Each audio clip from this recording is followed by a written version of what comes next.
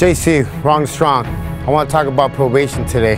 Born and raised in Chicago, uh, South Side. Valerie is my daughter's godmother and Dee's my daughter's godfather. It, it all comes down to one thing. My whole life, I've been living a life as a criminal.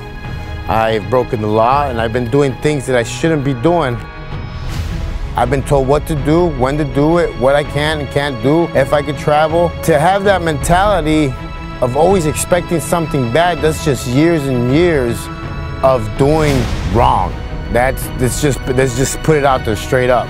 There was to film that video with uh, Fat Joe, Crush, uh, Crush Tonight.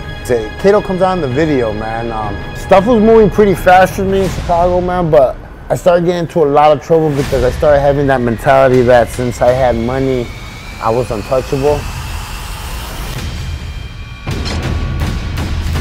If you're not doing nothing you're not supposed to be doing, then you shouldn't expect bad consequences. They're gonna make you jump through some hoops, but you put yourself there. You caught that case. You did what you had to do to get to where you, you're at. So do what you gotta do to get off of probation. I made a, a conscious decision when I started getting older that I did want to change, that I did want more. I didn't want to spend the rest of my life in prison.